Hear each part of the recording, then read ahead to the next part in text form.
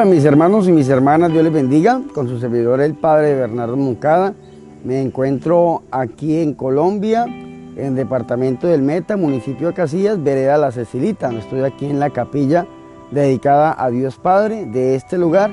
Fue el lugar donde Dios me sacó a mí. Yo me crié en esta zona de Colombia y he venido a celebrar la Santa Misa con la comunidad que me vio crecer. Así que yo los invito a que me acompañen. Vamos.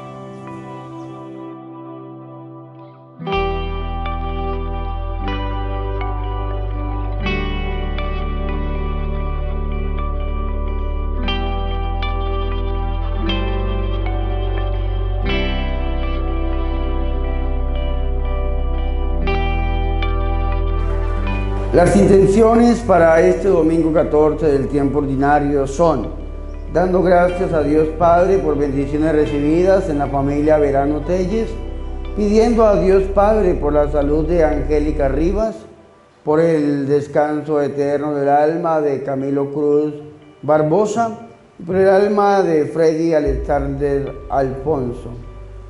Dando gracias a Dios por bendiciones recibidas en la familia Cruz Barbosa, Acción de gracias por las bendiciones recibidas en las familias Pardo Verano, Santa María Telles, Peña Díaz, Verano Porra, Rojas Verano, pidiendo a Dios Padre por la salud de Telier Hernández, por el descanso eterno del alma de Jorge Clavijo, al cumplir 23 años de fallecido, pidiendo a Dios Padre por la salud de Víctor Gamboa por las intenciones de la familia Moncada Ballesteros y de la familia Peña y de todos nosotros que estamos en este lugar.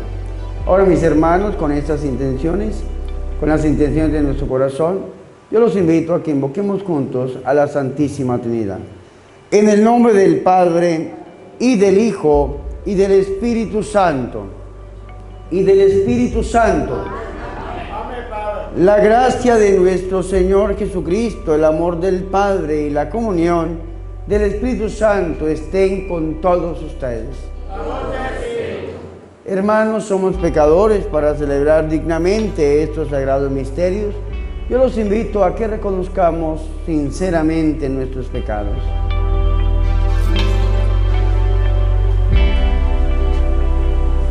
Yo confieso ante Dios Todopoderoso, y ante ustedes, hermanos, que he pecado mucho de pensamiento, palabra, obra y omisión. Por mi culpa, por mi culpa, por mi gran culpa. Por eso ruego a Santa María, siempre Virgen, a los ángeles, a los santos y a ustedes, hermanos, que intercedan por mí ante Dios nuestro Señor. Dios Todopoderoso, tenga misericordia de nosotros perdone nuestros pecados y nos lleve a la vida eterna.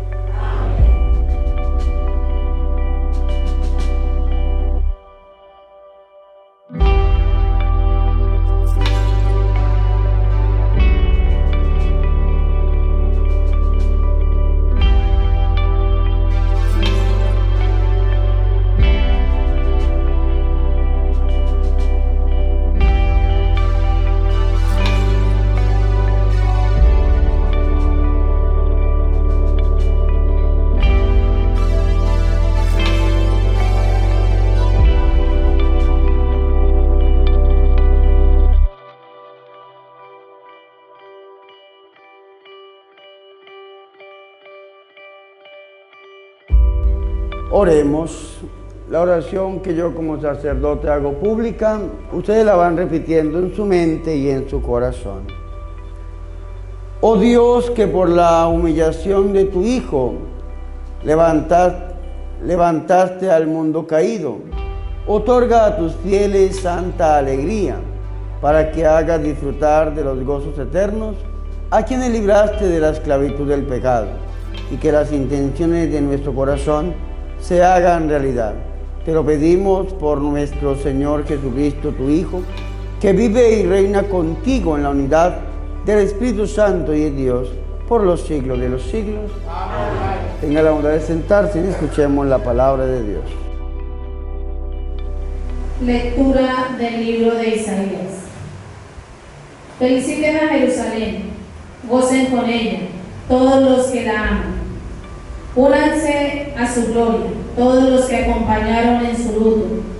Ahora se pueden alimentar de sus pechos y saciar de sus consuelos y disfrutar bebiendo de, su, de los raudales de su gloria. Porque el Señor así lo promete. Voy a conducir hacia Jerusalén como un río, la paz como un torrente desbordado, las riquezas de las naciones. Como los niños de pecho, los llevarán en brazos y sobre las rodillas los acariciarán. Como consuela una madre a su hijo, así consolaré yo a ustedes. En Jerusalén encontrarán este consuelo. Así lo verán y se alegrará su corazón y rebosarán de salud los sanos como un prado. Verán cómo tiende la mano a su siervo el Señor. Palabra de Dios. Aclama al Señor tierra entera. Aclama al Señor tierra entera. Aclama al Señor tierra entera, toquen en honor de su nombre, canten himnos a su gloria, digan adiós, qué terribles son sus obras. Aclama al Señor tierra entera. Que se postre ante ti la tierra entera, que toquen en tu honor, que toquen para tu nombre. Vengan a ver las obras de Dios, sus temibles proezas en favor de los hombres. Aclama al Señor tierra entera. Transformó el mar en tierra firme, a pie atravesaron el río. Alegrémonos con Dios, que con su poder gobierna eternamente. Aclama al Señor tierra entera. Fieles de Dios, vengan a escuchar, les contaré lo que han hecho conmigo. Bendito sea Dios que no rechazó mi súplica ni me retiró su favor. Aclama al Señor tierra entera. Segunda lectura. Lectura de la carta a los Gálatas, capítulo 6, 14 al 18. Hermanos, lejos de mí gloriarme, si no es de la cruz de nuestro Señor Jesucristo en ella el mundo quedó crucificado para mí y yo crucificado para el mundo. Pues, lo que importa no es estar o no estar circuncidado, sino tener parte en la nueva creación. Los que vivían según este principio gozarán de la paz y la misericordia divina con el Israel de Dios en adelante nadie me mortifique más, que ya llevo en mi propio cuerpo las señales de la pasión de Jesús. Hermanos, la gracia de nuestro Señor Jesucristo permanezca siempre en su espíritu. Palabra de Dios.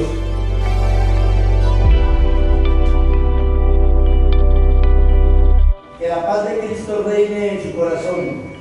Que la palabra de Cristo habite en ustedes con toda su riqueza.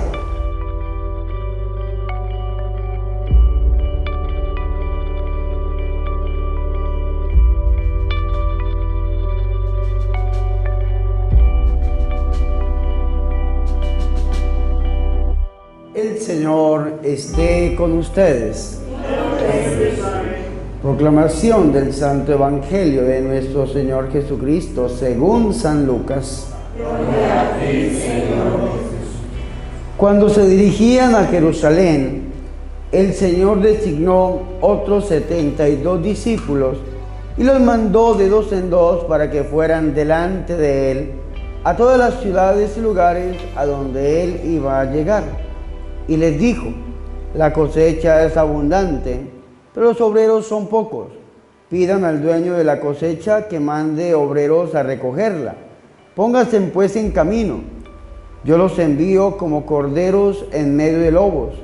No carguen dinero, provisiones ni calzado. ni se detengan a saludar a nadie en el camino. Cuando entren a alguna casa, ante todo den el saludo de paz a los que en ella viven. Si allí quienes se la merezcan, sus deseos de paz se cumplirán en él. Si no, ustedes nada perderán. Quédense en, esa casa y coman y beban lo que les den, porque el obrero tiene derecho a su salario. No anden cambiando de casa y si llegan a una ciudad y los reciben, coman lo que les ofrezcan. Curen a los enfermos que haya y díganle, ya llega Dios a reinar sobre ustedes. Pero si llegan a una ciudad y no lo reciben, salgan a las calles y digan, le dejamos hasta el polvo que en esta ciudad se nos pegó a los pies. Pero de todos modos sepan que ya llegan el reinado de Dios. Yo les digo que en el juicio final le irá mejor a Sodoma que a esa ciudad. Regresaron pues alegres los 72 misioneros y le dijeron a Jesús, Señor, cuando damos órdenes en tu nombre, hasta los demonios nos obedecen. Jesús les dijo, yo veía a Satanás caer del cielo como un rayo. Les he dado poder para pisotar serpientes y escorpiones y para aniquilar toda fuerza satánica. Nada les causará mal alguno. Sin embargo, no deben alegrarse de que los malos espíritus lo obedezcan. Alegrense más bien de que sus nombres están grabados en el cielo. Palabra del Señor. Mis hermanos, en la Iglesia Católica todos los domingos nos reunimos a celebrar la resurrección de nuestro Señor y Salvador Jesucristo. Hoy nos hemos reunido precisamente a eso, a celebrar la resurrección de Cristo. Hoy es domingo, domingo 14 del tiempo ordinario. Y para este domingo 14 del tiempo ordinario, la Iglesia Católica en el Evangelio que nos permite, hemos leído nosotros en este Evangelio de San Lucas que el Señor Jesucristo designa, escoge a 72 discípulos. Y esto es importantísimo. ¿Por qué es importantísimo? Porque en estos 72 discípulos están ustedes, aquellos que no son sacerdotes. ¿Por qué dice esto, Padre? Vamos a retroceder un poco Resulta que el Señor viene a este mundo y el Señor viene y pasa haciendo milagros, pasa haciendo prodigios, el Señor pasa haciendo su obra grande, su obra portentosa, porque Jesús tiene poder. El mismo nombre de Jesús significa Dios sana, Dios salva. Y en la acción apostólica, en la acción misionera de Jesús, vemos cómo el Señor extiende el reino de Dios a través de cuatro aspectos diferentes. Primero, a través de la predicación, Segundo, el Señor, a través de la sanación de milagros, a través de los exorcismos, de la expulsión de demonios, el Señor extiende el reino de los cielos en el corazón de las personas. Pero el Señor Jesucristo llega un momento es que escoge a doce que los llama sus apóstoles. Hemos leído el capítulo 10 hoy del Evangelio de San Lucas, pero en el capítulo 9 el Señor escoge a doce que llama apóstoles y les comunica ese poder. Les da poder, dice el evangelista, sobre todos los demonios y los manda a predicar la palabra de Dios, los manda a sanar los enfermos y a curar, dice el Evangelio de San Lucas. Sin embargo, en estos doce apóstoles nosotros vemos al Papa, sucesor de Pedro, y a los obispos, sucesores directos de los apóstoles. Y la pregunta es, ¿y en dónde quedamos nosotros? Ya tenemos la figura de Jesús, ya tenemos la figura nosotros del Papa, de los obispos, de los presbíteros, y entonces, ¿en dónde quedan los laicos? Se preguntarán ustedes. Y el Señor Jesucristo, escúcheme muy bien, escoge a 72. Y en estos 72 están ustedes aquellos que no son sacerdotes ni son religiosos. En estos 72 estamos nosotros que hemos sido escogidos por nuestro Señor Jesucristo también para ir a llevar la palabra de Dios. Y es importante, y esta lectura que hemos escuchado hoy la podemos desglosar en cinco o seis aspectos diferentes. Primero, el que escoge es nuestro Señor y Salvador Jesucristo. ¿Y quiénes somos nosotros para decirle a Dios que no? A veces nosotros tenemos la autoestima un poco baja o a veces la visión que tenemos de nosotros es un poco negativa. Y si yo le diría a ustedes, hermanos, Dios a ustedes los está escogiendo hoy en esta Eucaristía para que ustedes sean misioneros, para que vayan y prediquen la palabra, más de uno empezaría a hablar negativo. Ay, pero yo no tengo estudio. Ay, pero yo no sé hablar. Ay, pero yo soy muy pecador. Y eso no es nuevo. En el Antiguo Testamento lo veíamos. El Señor escoge a Abraham y Abraham le pone un pero. ¿Cuál es el pero de Abraham? Ya estoy anciano, mi esposa es estéril y entonces me estás ofreciendo una descendencia y cuando se va a cumplir eso, me heredará, dice Génesis 15, uno de mis criados. Y el Señor dice, no te dará uno de tus criados, te voy a dar descendencia y le da descendencia a Abraham, el padre de la fe, porque cree en Dios. El Señor escoge a Moisés. Le dice el Señor a Moisés, Moisés, ven que te voy a enviar para que mi pueblo sea liberado. Y Moisés no sabía hablar, Moisés era tartamudo. Y entonces le dice el Señor a Moisés, Señor, pero yo no sé hablar.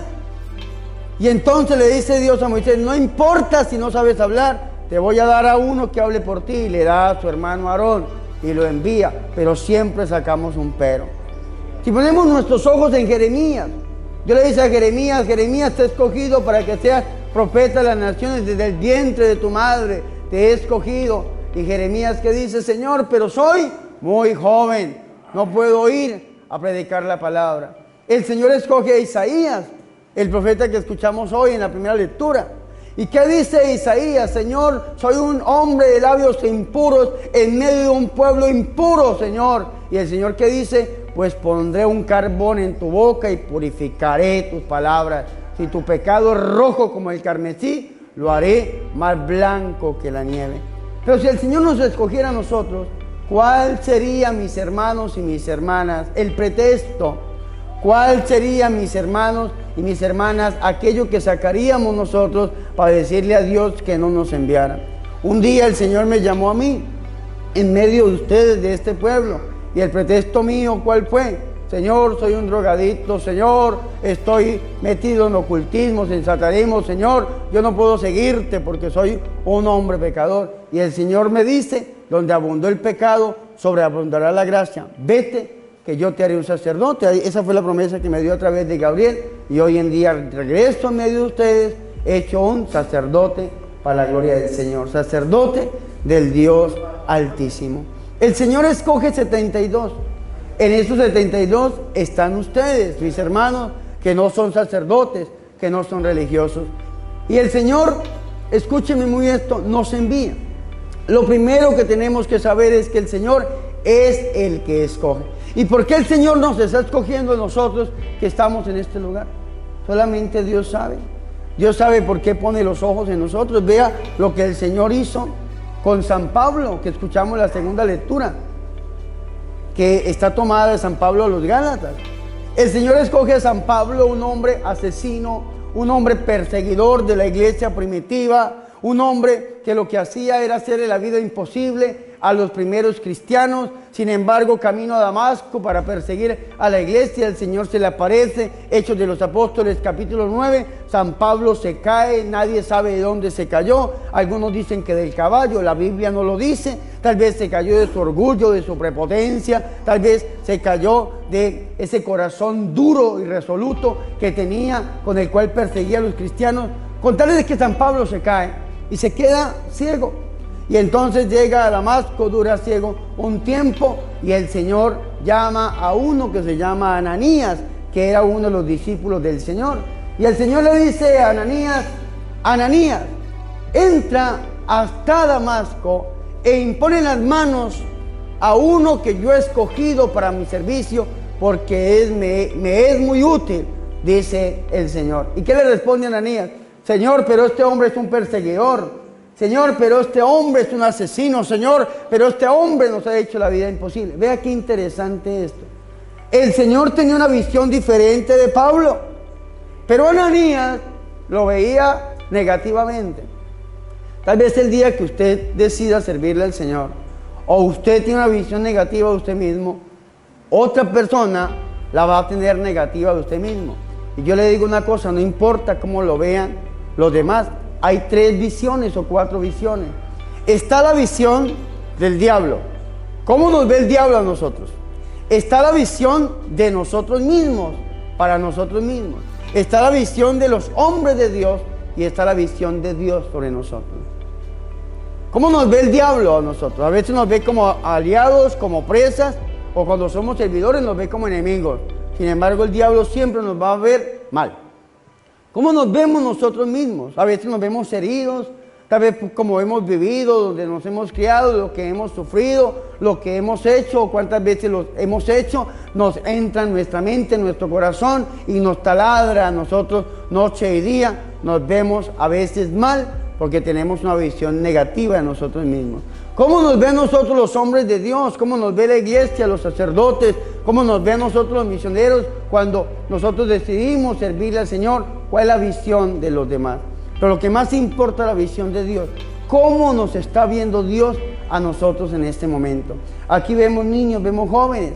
Y tal vez el mundo, el diablo, quiere que estos jóvenes sean los futuros ladrones, drogadictos de este país. Vemos aquí niñas y el diablo quiere que estas niñas sean mujeres que vivan lejos del Señor. Sin embargo, el Señor tiene los ojos puestos sobre esta juventud y tal vez Dios quiere que de estas jovencitas salgan religiosas, que de estas jovencitas salgan mujeres consagradas, esposas fieles, mujeres santas, pueblos escogidos, sacerdocio real. Tal vez el Señor tiene una vocación hermosa para estos jóvenes y nosotros tenemos que entender la visión que Dios tiene para ellos y la vocación que Dios tiene para todos los que estamos aquí. No importa lo que hayan hecho ni cuántas veces lo hayan hecho, Dios siempre tiene una visión, una vocación especial para nosotros porque el que escoge es Él. ¿Cuál es el requisito para estos 72? La Biblia no lo dice. Lo único que sabemos es que estaban cerca de Jesús. Y el Señor escoge estos 72. ¿Y para qué los escoge? Segundo, para enviarlos. Los escoge para enviarlos. Los escoge para que vayan, para que salgan. Tal vez el Señor los preparó teológicamente, tal vez duraron mucho tiempo estudiando Sagrada Escritura o, o la visión que tenía Jesús. Sí, tal vez estuvieron con Él, lo habían escuchado ya sobre la altura del capítulo 10 del Evangelio de San Lucas habían pasado algunos días o, tal vez un año de que personas que estaban con Jesús desde el momento del bautismo hasta este momento, sí, tal vez estuvieron con el Señor, pero lo que más importa es la experiencia que habían tenido de Jesús. Y la pregunta es, ¿cuál es la experiencia que nosotros tenemos de nuestro Señor Jesús? El Señor los envía. ¿Y los envía para qué? Tercero, para predicar, para anunciar el reino, para anunciar la palabra, para anunciar a un Cristo vivo.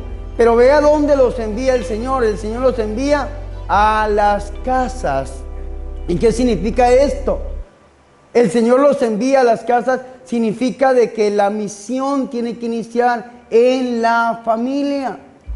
Dijo el Papa San Juan Pablo II que la familia era la iglesia doméstica y allí tiene que iniciar la misión, la predicación. Y es importante que el Señor no nos manda solos, el Señor nos manda de dos en dos, porque el número dos es el número más pequeño de ser iglesia.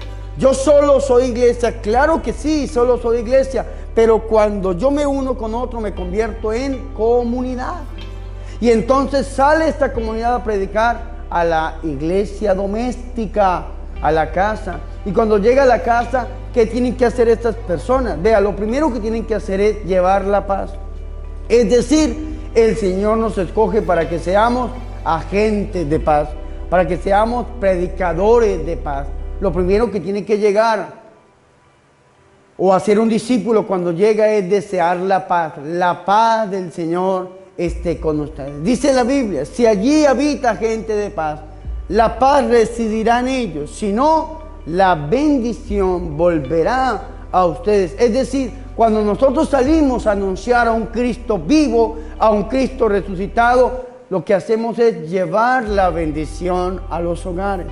¿Cuántos hogares, cuántas casas necesitan de la presencia de Dios en medio de ellos? ¿Cuántos hermanos y cuántas hermanas viven como si Dios no existiera? ¿Cuántos hermanos y cuántas hermanas necesitan de una palabra? ¿Cuántos necesitan abrirle las puertas del corazón de su casa a Jesús para que Jesús transforme el interior? ¿Y cómo transforma el Señor? A través de la palabra. Lleguen, digan la paz, predique del reino. ¿Cómo predicamos nosotros? Claro, con palabras, pero también con testimonio. Llegar a predicar a un Jesús vivo y resucitado. Después de que prediquen la palabra, el Señor le dice a estos hombres, sanen a los enfermos que estén en aquella casa. Pero vea qué interesante esto. En el capítulo 9 de Lucas, el Señor le había dado a los apóstoles el poder sobre los demonios. En el capítulo 10 de Lucas, el Señor no le da a estos 72 el poder sobre los demonios. El Señor le da el poder para sanar. Y ellos van a hacerle caso al Señor. Salen predicando la palabra, salen deseando la paz, salen sanando a los enfermos, van de pueblo en pueblo predicando. Y en el versículo 17 regresan ellos. Y dice que al regresar venían muy contentos, diciéndole al Señor, Señor, cuando damos órdenes en tu nombre, hasta los demonios nos obedecen. Vean qué interesante esto. Y aquí los exorcistas dicen lo siguiente. Los sacerdotes tienen el poder de expulsar directamente al demonio, es decir, el exorcismo.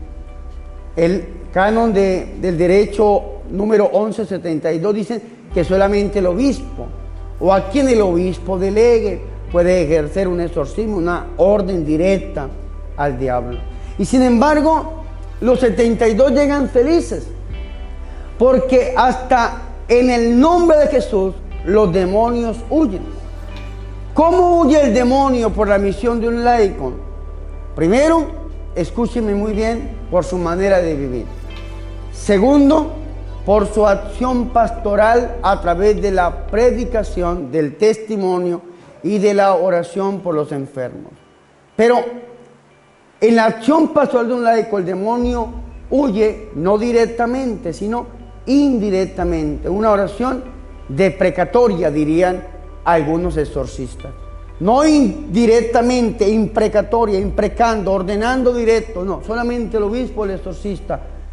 ¿Qué es indirecto? Pues hablando con Dios. En el nombre de Jesús hasta los demonios huyen y venían contentos. Y ahí donde el Señor les dice a esto, yo veía a Satanás caer del cielo como un rayo, ahí donde los músicos cuando cantan de que como un rayo cayendo sobre mí. No, no se dice como un rayo, sino como un fuego. ¿Por qué? Porque el único que cae como un rayo es el diablo. El Espíritu Santo cae como un fuego, lo que sucedió el día de Pentecostés. ¿Y por qué el Señor veía a Satanás caer del cielo como un rayo? Porque el reino de Dios se estaba extendiendo en el corazón de todos aquellos que lo necesitaban. Y cuando el reino de Dios se extiende en el corazón de alguien, viene la transformación. Y el demonio lo único que puede hacer es huir. Nosotros fuimos testigos de la evangelización que se hizo en este lugar hace muchos años atrás. Tanto que en este lugar no existía esta capilla, era un lote, pero gracias a esa evangelización Dios levanta el corazón de muchas personas, lo mueve, entre esos doña Claudia, Gabriel, y hay una gran evangelización y hoy en día nos podemos reunir como iglesia en este lugar a celebrar la resurrección de Cristo y ver cómo el diablo se vence a través de la predicación, a través de la evangelización. Eso es lo que dice el Señor. Yo veía al demonio caer del cielo como un rayo. Sin embargo, no se alegren ustedes de que los espíritus les obedezcan. Alégrense más bien de que sus nombres están grabados en el cielo. Diría el Apocalipsis, están escritos en el libro de la vida. Y eso es importante.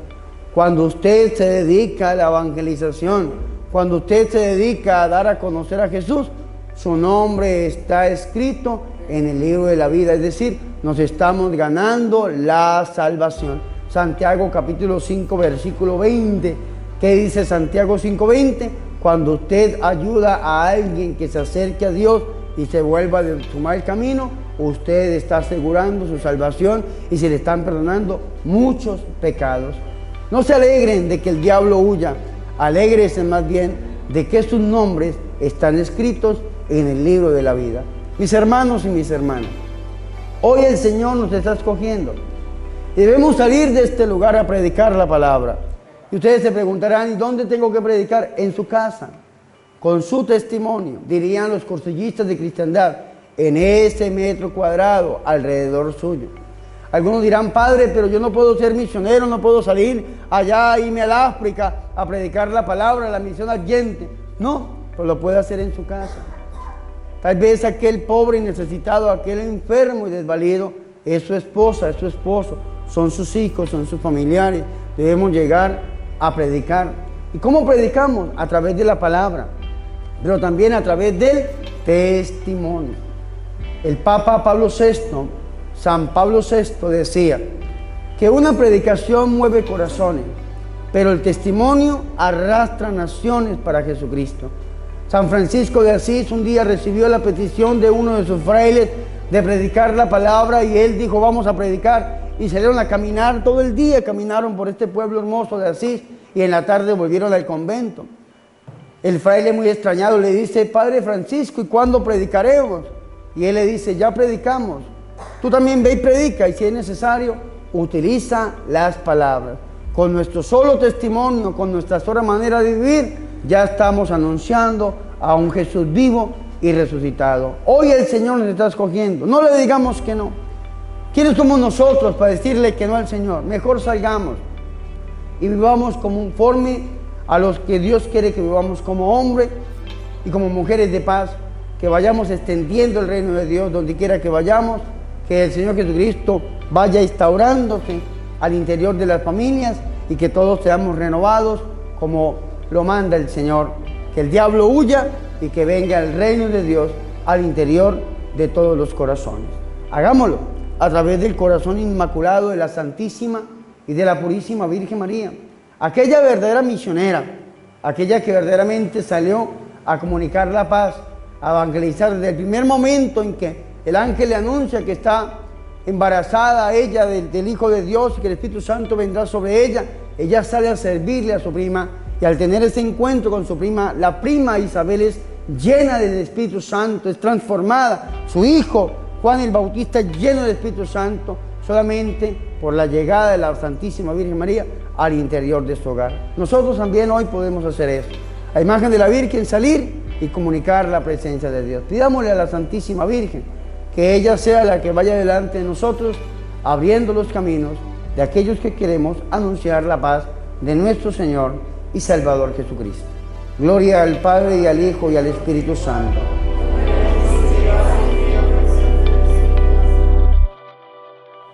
Creo en un solo Dios, Padre Todopoderoso, Creador del cielo y de la tierra. Creo en Jesucristo, su único Hijo, nuestro Señor que fue concebido por origen, padeció bajo el poder de Poncio Pilato, fue crucificado, muerto y sepultado, descendió a los infiernos, al tercer día resucitó entre los muertos, subió a los cielos y está sentado a la derecha de Dios Padre Todopoderoso. Desde allí viene a juzgar a los vivos y a los muertos. Creo en el Espíritu Santo, la Santa Iglesia Católica, la comunión de los santos, el perdón de los pecados la resurrección de la carne y la vida eterna. Amén. Levante su mano y digan conmigo, esta es nuestra fe. Esta es la fe de la iglesia que nos gloriamos de profesar en Cristo nuestro Señor. Amén. Ahora mis hermanos, vamos a rogarle a Dios Padre que tenga misericordia de todos nosotros y digamos, te rogamos Señor, óyenos. Te pedimos, Señor, por las intenciones del Santo Papa, el Papa Francisco, para que junto con sus obispos puedan dirigir la Santa Iglesia de Dios. Roguemos al Señor. Te rogamos, Señor, por nuestros gobernantes, para que con la luz del Espíritu Santo tomen verdaderas decisiones que lleven al pueblo la justicia y la libertad. Roguemos al Señor. Te rogamos, Señor, por los pobres y afligidos, por los enfermos y moribundos, y por todos los que sufren, para que encuentren el consuelo y la salud. Roguemos al Señor. Te rogamos, Señor, por todos los que estamos aquí reunidos y cuantos forman parte de nuestra comunidad, para que Dios nos conceda la paz en el corazón, el perdón de los pecados y la firme voluntad de obedecer siempre sus mandamientos. Roguemos al Señor. Te rogamos, Señor, por las intenciones que te hemos presentado al iniciar esta Santa Eucaristía. Señor, te pedimos que estas intenciones se hagan realidad en nuestra vida y en nuestra familia. Roguemos al Señor. Te rogamos, Señor, por el alma de Camilo Cruz Barbosa, de Freddy Alexander Alfonso, por el alma de Jorge Clavijo, que hoy cumple 23 años de haber fallecido. Dale, Señor, el descanso eterno y brille para ello la luz perpetua. Roguemos al Señor. Te rogamos, Señor, óyenos. Oremos. Escucha, Señor, benignamente nuestras súplicas y concédenos lo que te pedimos, confiados en tu bondad. Por Jesucristo nuestro Señor.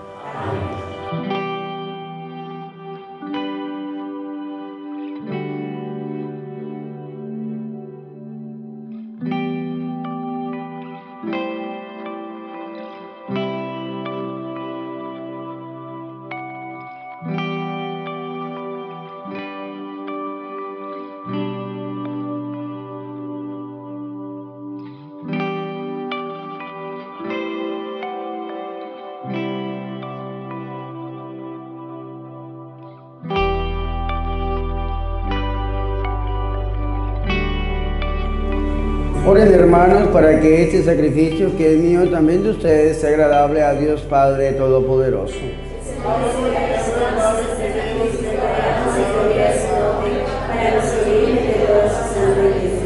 La oblación que te ofrecemos, Señor, nos purifique y nos haga participar de día en día de la vida del, del reino glorioso. Por Jesucristo nuestro Señor. El Señor esté con ustedes. Levantemos el corazón. Demos gracias al Señor nuestro Dios. En verdad es justo darte gracias y deber nuestro alabarte, Padre Santo, Dios Todopoderoso y Eterno, en todos los momentos y circunstancias de la vida, en la salud y en la enfermedad, en el sufrimiento y en el gozo, por tu siervo Jesús nuestro Señor, porque Él en su vida terrena pasó haciendo el bien y curando a los oprimidos por el mal. También hoy, como buen samaritano, se acerca a todo hombre que sufre en su cuerpo o en su espíritu y cura sus heridas con el aceite del consuelo y con el vino de la esperanza. Por este don de tu gracia, incluso cuando nos vemos sumergidos en la noche del dolor, vislumbramos la luz pascual con tu Hijo muerto y resucitado. Por esto, unidos a los ángeles y a los santos, cantamos a una voz el himno de tu gloria.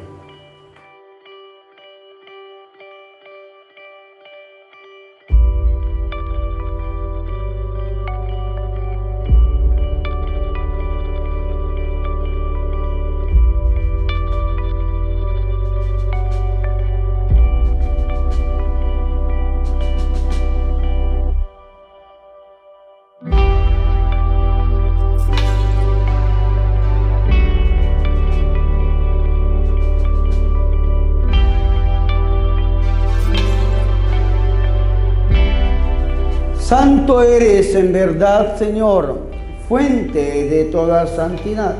Por esto te pedimos que santifiques estos dones con la efusión de tu Espíritu, de manera que se conviertan para nosotros en el cuerpo y la sangre de Jesucristo nuestro Señor, el cual, cuando iba a ser entregado a su pasión, voluntariamente aceptada, tomó pan, dándote gracias, lo partió y lo dio a sus discípulos diciendo, tomad y comed todo de él, porque esto es mi cuerpo, que será entregado por ustedes.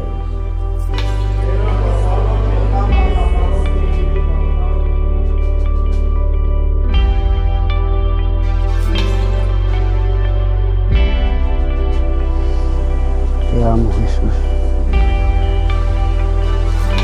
Del mismo modo, acabada la cena, tomó el cáliz y dándote gracias de nuevo, lo pasó a su discípulo diciendo,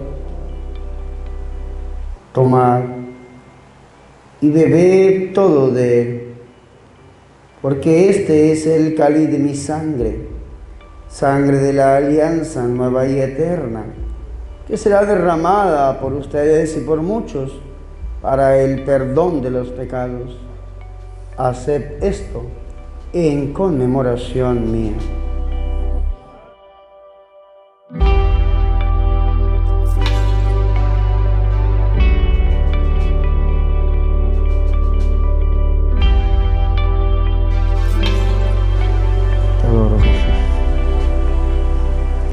Este es el sacramento de nuestra fe.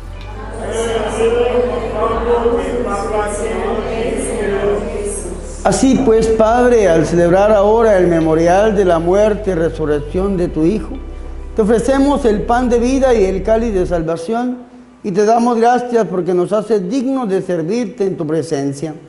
Te pedimos humildemente que el Espíritu Santo congregue en la unidad a cuantos participamos del cuerpo y sangre de Cristo. Acuérdate, Señor, de tu iglesia extendida por toda la tierra y reunida aquí en el domingo, día en que Cristo ha vencido la muerte y nos ha hecho partícipes de su vida inmortal. Y con el Papa Francisco, con nuestro obispo, Monseñor Óscar Urbina, y todos los pastores que cuidan de tu pueblo, llévala a su perfección por la caridad. Recuerda a tu hijo Bernardo Jesús Moncada Muñoz, a quien llamaste de este mundo a tu presencia. Concédele que así como ha compartido ya la muerte de Jesucristo, comparta también con él la gloria de la resurrección.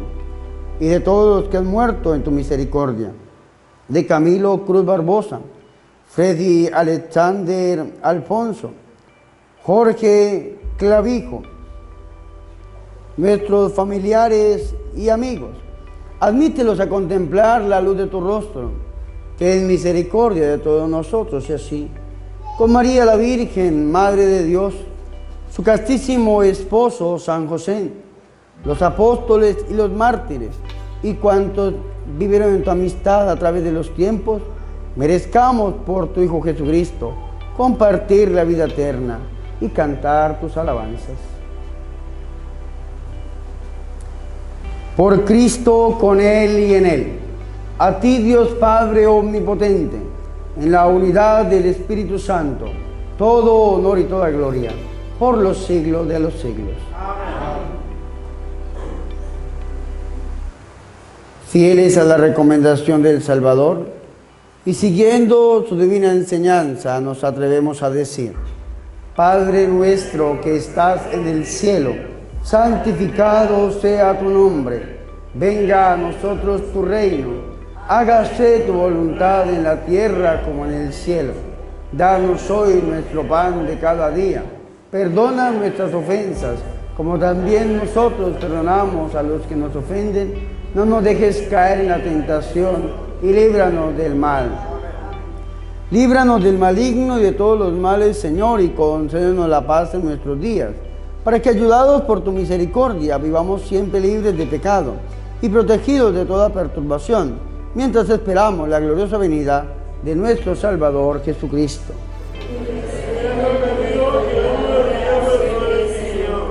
Señor Jesucristo, que dijiste a tus apóstoles, la paz les dejo, mi paz les doy. No tengas en cuenta nuestros pecados, sino la fe de tu iglesia, y conforme a tu palabra, concédele la paz y la unidad tú que vives y reinas por los siglos de los siglos. La paz del Señor Hijo de la Virgen María esté con todos ustedes. En el amor de Jesús y María compartamos ahora un signo de paz.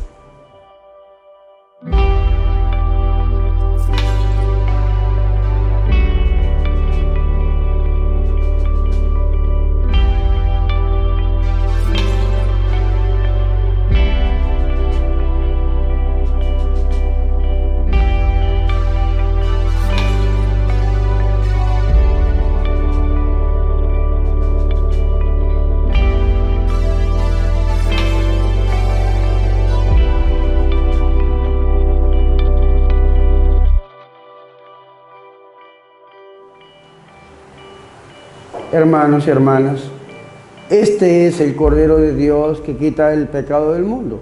Dichosos los invitados a la cena del Señor.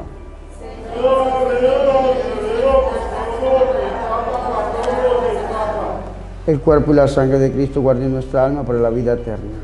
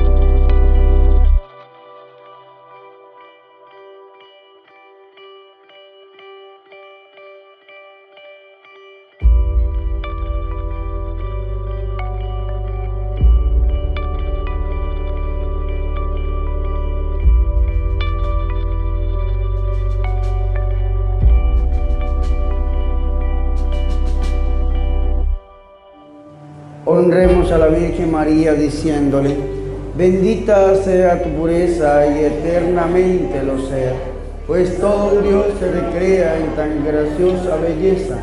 A ti, celestial princesa o Virgen Sagrada María, yo te ofrezco en este día alma, vida y corazón. Mírame con compasión, no me dejes, Madre mía, y en la hora de mi agonía se me ampare y protección. Amén. Oremos. Señor, que nos has colmado de tantas gracias, concédenos alcanzar los dones de la salvación y perseverar siempre cantando tu alabanza. Por Jesucristo nuestro Señor. Ave María Purísima. Dale, Señor, el descanso eterno. Dale, Señor, el descanso eterno. Dale, Señor, el descanso eterno que todas las benditas almas de purgatorio, especialmente el alma de Camilo Cruz Barbosa, Freddy Alexander, Alfonso y de Jorge Clavijo, por la misericordia de Dios descansen en paz. El Señor esté con ustedes. Antes de la bendición, quiero agradecerles por permitirme participar en esta Eucaristía como presidente. Muchas gracias. Les pido oración. Ya partimos en la madrugada para Bogotá y el miércoles para Washington a compartir un retiro. Por favor, oren por mí para que el Señor tenga misericordia y haga su obra a través de este siervo. Les agradezco mucho por sus oraciones. Y la bendición de Dios Todopoderoso, Padre, Hijo y Espíritu Santo, descienda sobre ustedes y permanezca para siempre. La misa ha terminado como misionero del Señor. Podemos ir en paz.